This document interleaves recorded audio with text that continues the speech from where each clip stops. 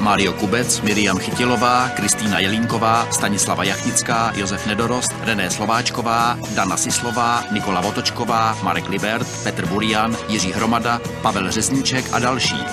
Zvuk Roman Sečkař, produkce Zdena Sidotková, Jana Prášilová, překlad Renata Mlíkovská, dialogy Alena Navrátilová, režie českého znění Jiří Kodeš. Ve studiu S pro Alfa vyrobila TV produkce AS pro FTV premiéra SRO, televize Prima 2004.